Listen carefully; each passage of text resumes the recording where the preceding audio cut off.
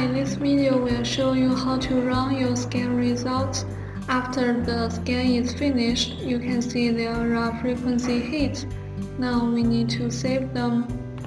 And the create program is show up.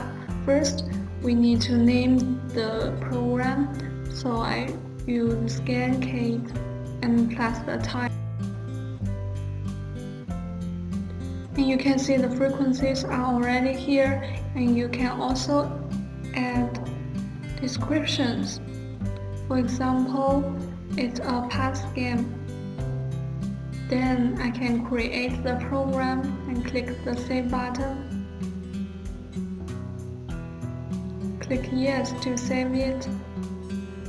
The software is reloading frequencies now.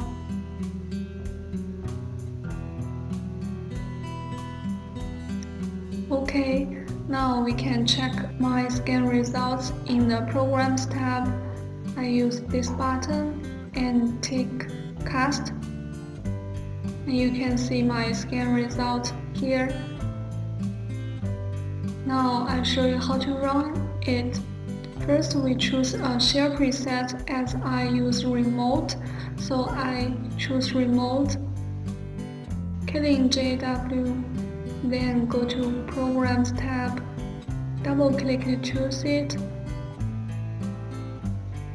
I saved it as a preset first, so next time I can directly run the preset.